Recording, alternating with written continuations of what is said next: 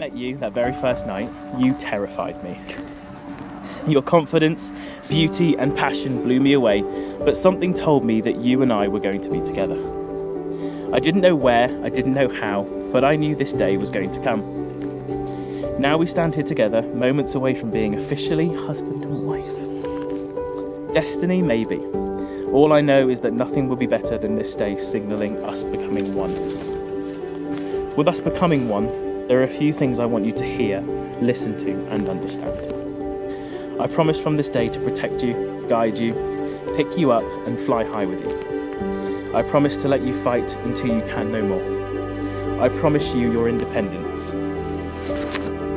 I promise to be proud of you, cheer you on, and be there whenever you need me. We've been through so much the dark, confusing, and make breaks.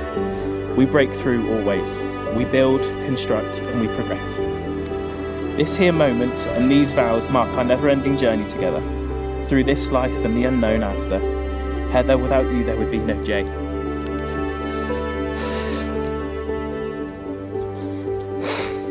I am indebted to you, and we keep moving forward.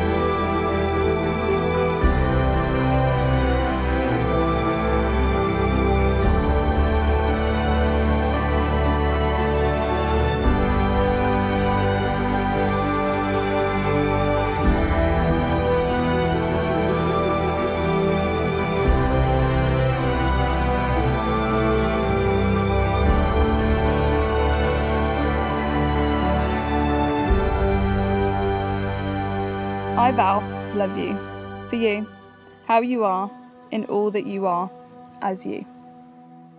To be the best me I can be, because I know you are always trying to be the best you.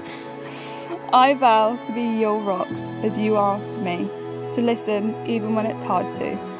I vow to live life and appreciate something in every minute, even on a bad day when it's lacking spoons. To be funny, even though it's only me that's laughing.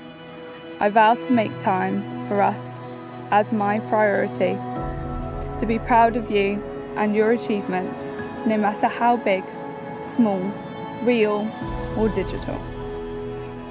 I cannot wait to watch this life we will create together from the beginning of our marriage to the end of our existence. You help me remember that bad times are just times that are bad. I am so proud of us and the fact that we made it here today. We are getting married. I love you.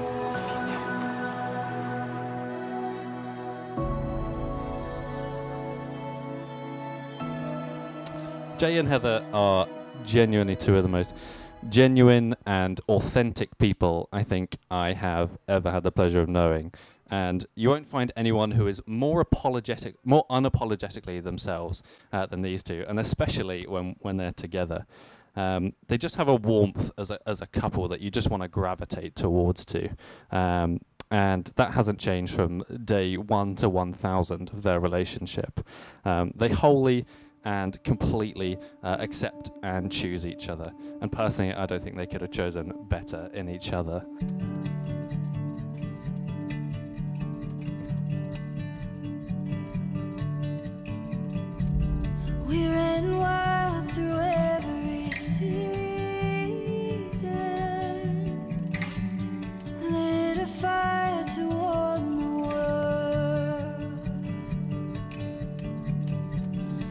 Love so easy to believe. My beautiful boy Jay. There, there were exactly 7,001 days between the day that I was born and you were born. And I cannot remember a day that I didn't dream about being your mum. When I found out about you, you were my world and everything in it. But now you've become that person to Heather. And the love you share is something I always wished for you. You are the man I wished for her too. And I'm so proud of that. I wish you both a lifetime of happiness, good health, and prosperity. I will be beside you if ever you need me. I love you. I love you all. Congratulations, Mr. and Mrs. Ford. Mr. and Mrs. Ford.